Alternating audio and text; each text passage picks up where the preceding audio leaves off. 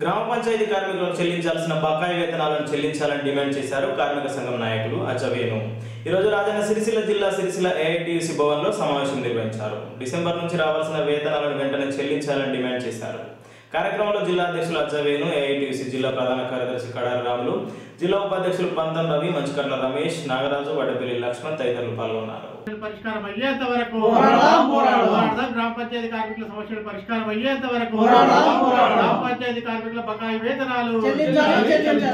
గ్రామ పంచాయతీ కార్మికుల బకాయి వేతనాలు.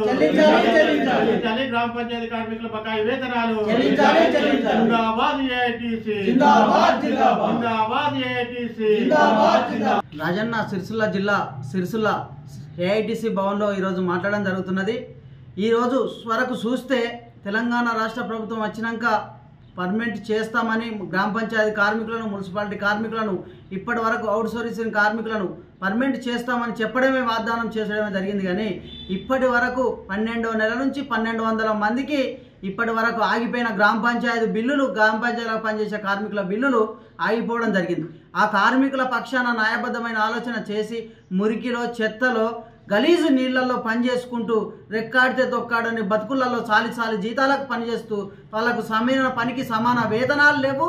ఇప్పటికైనా వాళ్ళకు సరుకులు నూనె కానీ నిత్యావసర సరుకులు సబ్బులు కూడా ఇచ్చేది శుభ్రం చేసుకుంటానికి అది కూడా కొన్ని చోట్ల ఇవ్వడం జరుగుతలేదు. ఇక మీదనైనా పదమూడు మండలాలలో పన్నెండు వందల మంది పనిచేస్తూ నివసిస్తున్న మున్సిపాలిటీ గ్రామ పంచాయతీ కార్మికులు గ్రామ పంచాయతీ కార్మికులే పన్నెండు వందల మంది మున్సిపాలిటీ కార్మికులు కాక వీళ్ళకి ఏమైతే ఇప్పుడు చెప్పిన వాళ్ళకైతే తెలంగాణ రాష్ట్ర ప్రభుత్వం వచ్చినాక ప్రతి కార్మికుడిని అవుట్ సోర్సింగ్లు ఉన్న కార్మికులను ఇవాళ రెగ్యులేషన్ చేస్తామని చెప్పేసి వాగ్దానం చేయడానికి పరిమితమైంది తప్ప చేసిన పాపాన పోలే. ఇక మీదనైనా వీళ్ళని పర్మనెంట్ చేయాలి సమాన పనికి సమాన వేతనం ఇవ్వాలి కార్మికులకు ఒక ఇచ్చిన ఏది సబ్బులు కానీ నూనె కానీ ప్రతి ఒక్క వస్తువులు ఇవ్వాలి. లేని విడల వీళ్ళు ఆగిపోయిన జీతాలు తక్షణమే వాళ్ళకి అమలు చేయాలి. లేని విడల పెద్ద ఎత్తున ఆందోళన కార్యక్రమం ఏఐటీసీ ఆధ్వర్యంలో చేస్తామని సందర్భంగా ఏఐటీసీ జిల్లా సెక్రటరీగా చెప్పడం జరుగుతుంది తెలంగాణ ఉద్యమ సమయంలో ప్రస్తుత ముఖ్యమంత్రి గౌరవ కేసీఆర్ గారు తెలంగాణ రాష్ట్రం ఆవిర్భావం తర్వాత అసలు అవుట్సోర్సింగ్ కార్మికులు అనేవారే ఉండరని స్పష్టంగా చెప్పడం జరిగింది.